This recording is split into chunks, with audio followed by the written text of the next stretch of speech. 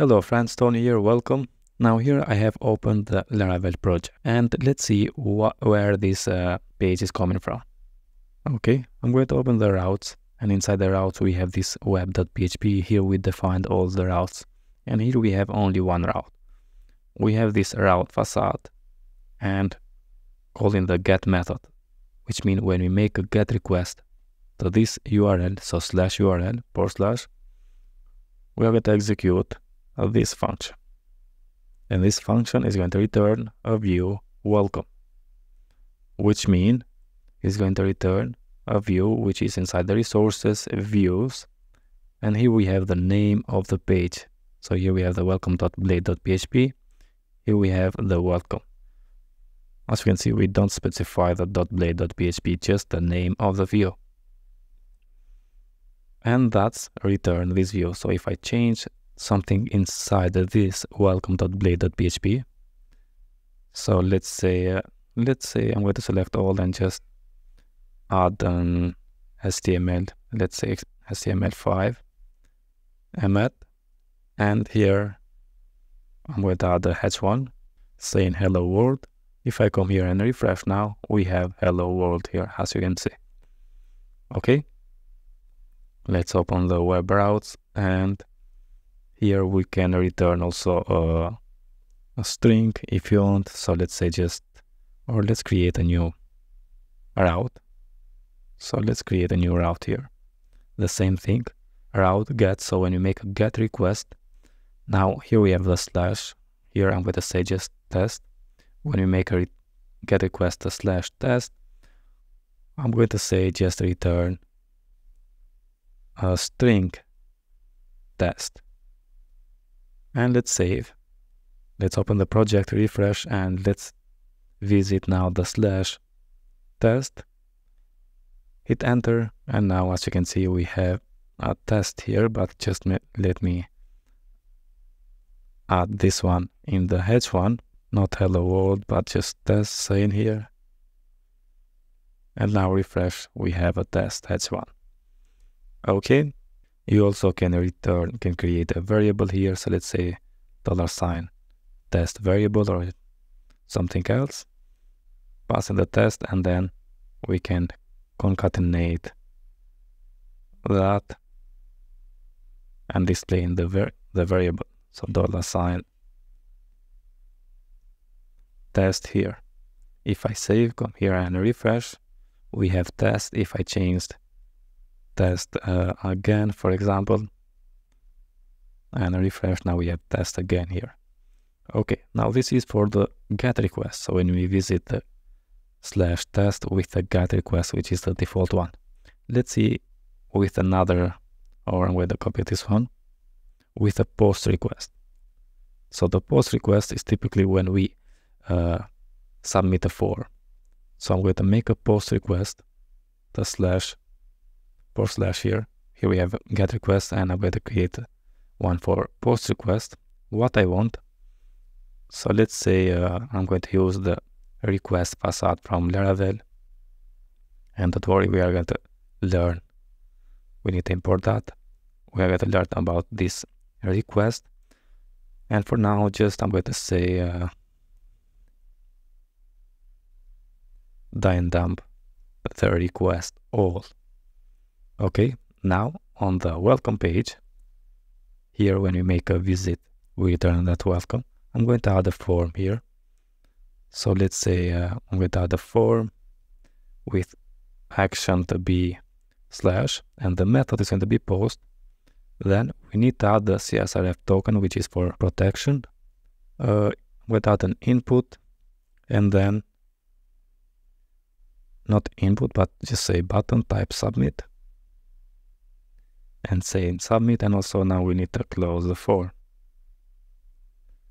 Okay, so here we have an example of a form with the action the b slash for slash the method is post. We added this CSRF token which is for protection and then an input with type text and name name. So the name based on the name we are going to get the request here so for example, I'm going to say uh, a username here, and let's save. So when we make a post request, we are going to just down the request all. He will define the post route.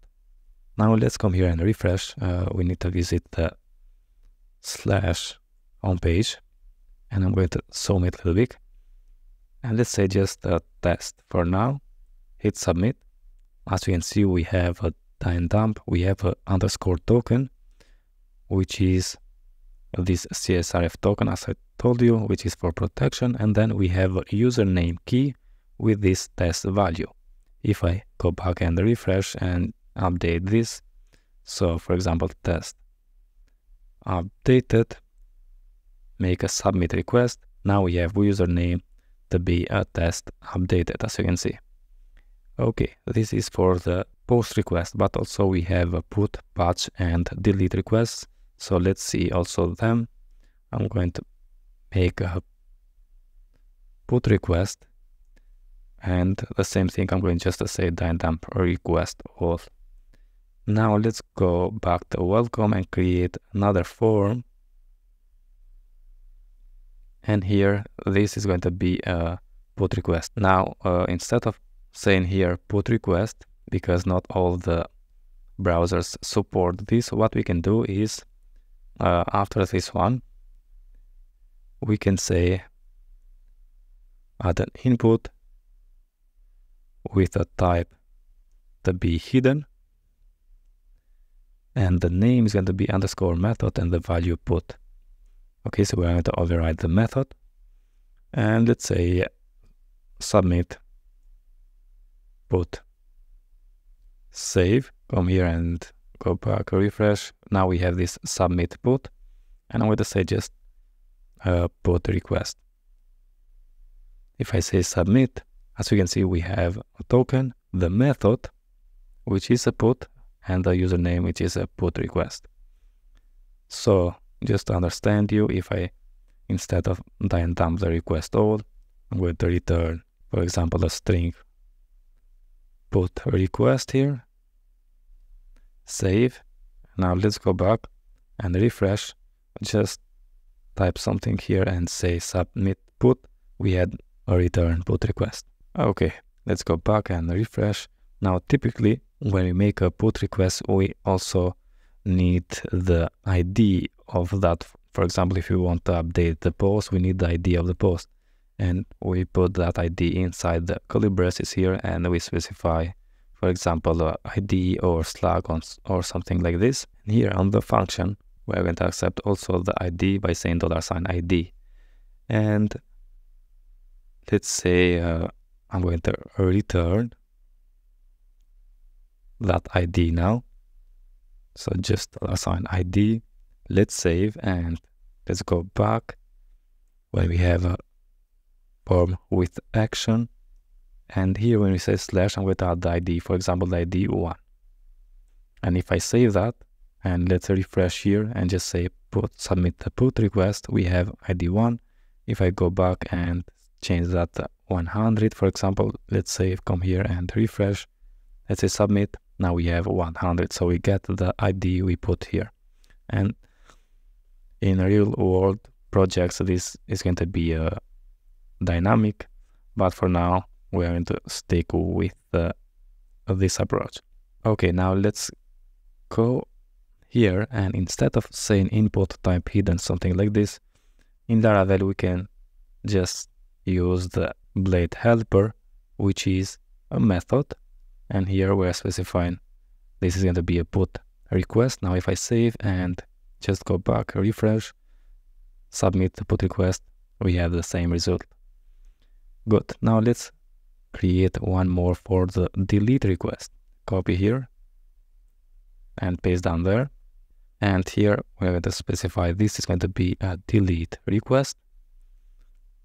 And typically here we delete the record. So what I'm going to do, I'm going to just receive the ID and return the ID. But in the real world, we are going to delete the post based on the ID. Okay, and then return some return back, for example. But for now, I'm going to just return the ID just to see you. So return here, refresh. Uh, let's go and make another form for delete. We have 100 method post now specifying the changing that the delete. And here we don't need the input, we're just saying submit delete here. If I save and come here and refresh, we have a submit delete. If I click submit delete, we turn 100. So if we change that the 1000, come here and go back, refresh, submit delete, we have 1000. Okay friends, that's it for the web routes. So here we have defined a get request when we visit the slash forward slash the homepage. Then here we have a post request for forward slash. Then we have a put request for forward slash, also passing the ID and the delete request, passing also here the ID and just return the ID here. Okay friends, that's it all about this video. I hope you enjoy and if you like such a videos, don't forget to subscribe to my channel, like the video, share with your friends and see you in the next one. All the best. Thank you very much.